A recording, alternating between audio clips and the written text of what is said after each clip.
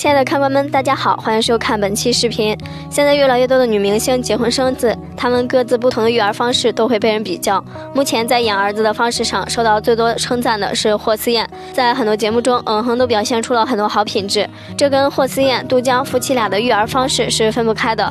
但是有女星能把儿子养好，有女星就能养废。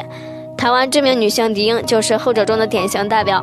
生完孩子的狄英简直把儿子当成全世界来宠爱。狄英曾在节目中自曝，儿子十二岁才断了母乳，十五岁的时候还跟自己裸睡在一张床上。被这样宠出来的孙安佐成了个典型的妈宝男，从一开始犯一些小错误，到后来走向犯罪的道路。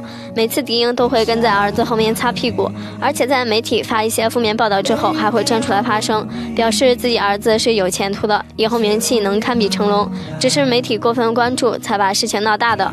妈妈这样的态度让孙安佐更加肆无忌惮了。前段时间他又被爆出跟网红发生关系，后来女方怀孕，他却逼迫女方做人流。但是迪英还是坚决表示儿子并没有犯错，还威胁女网红说要上告他诽谤罪。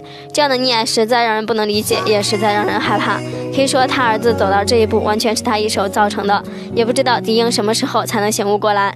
对此大家有什么看法？欢迎留言讨论。我们下期不见不散。